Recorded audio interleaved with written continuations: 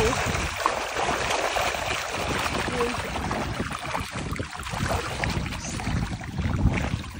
Ayan. O, nagtatago sila sa ilalim ng dahon ng sangayan.